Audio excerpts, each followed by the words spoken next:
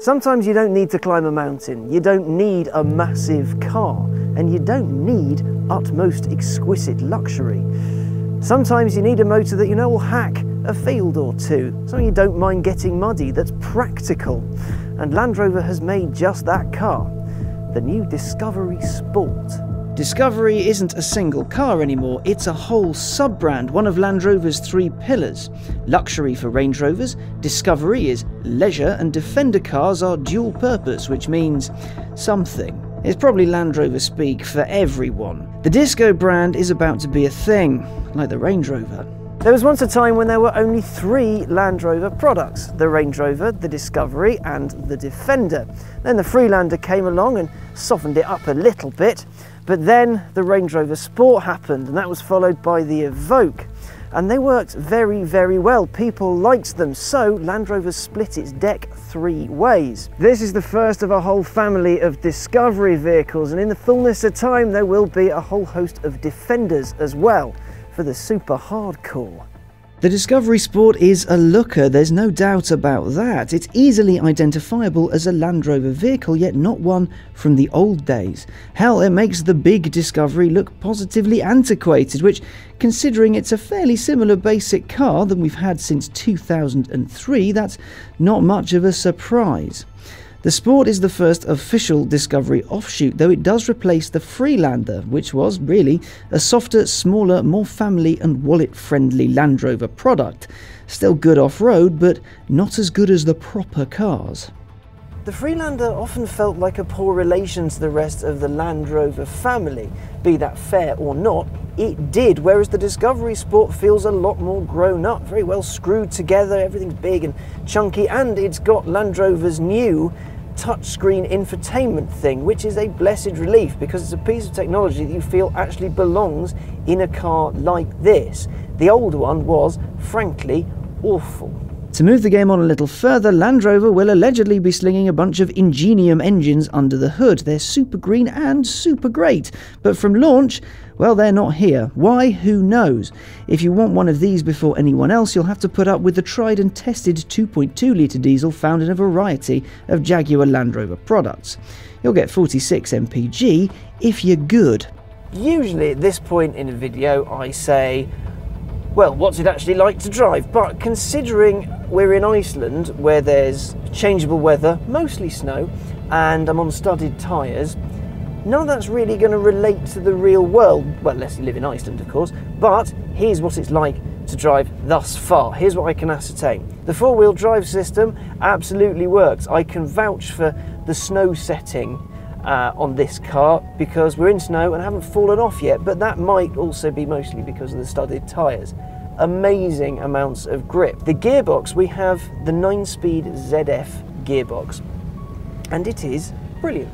You can't really tell when it's changing gear, it just does its thing.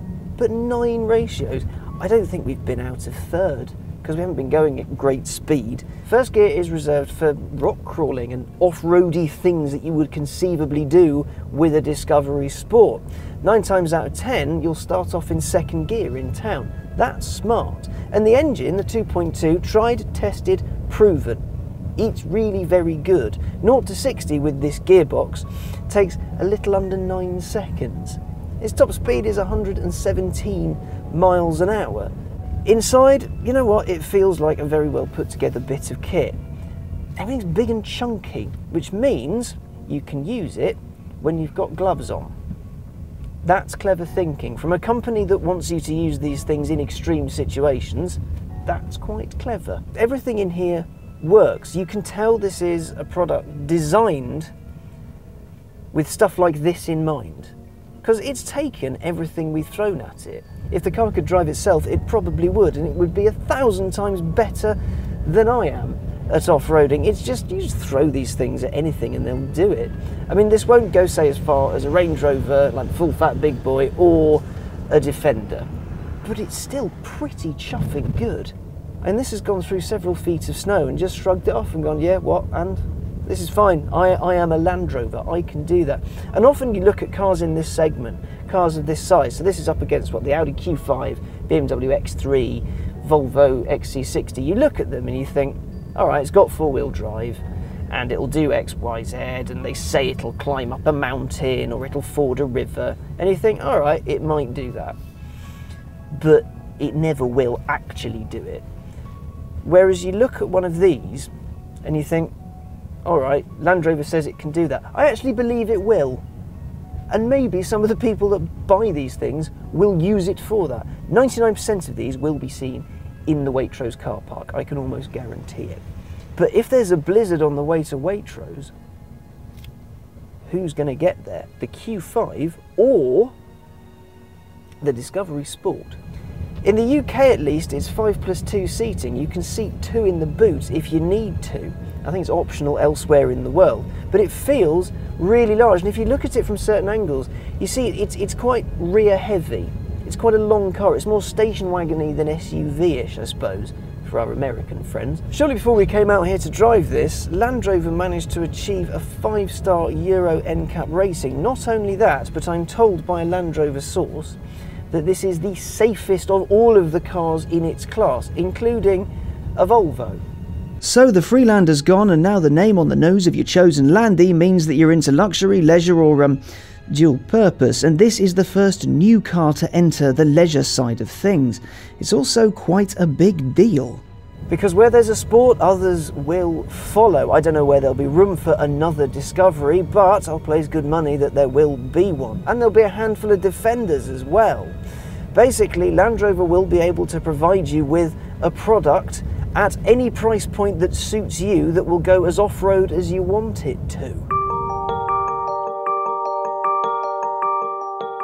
Here's a thought though. Owning a Land Rover product in the UK at least has always been something of a point of pride. Will filling every conceivable SUV niche take any of that away? Jaguar Land Rover is doing very well. More and more people want the fruits of its labour, but is aggressive expansion going to create more demand or cheapen the rest? I'll leave that to you to decide. So then, this is the start of the Discovery revolution. The new Discovery Sport, where it looks good, it drives well, I really like it. I have a sneaking suspicion these are going to sell well all over the world.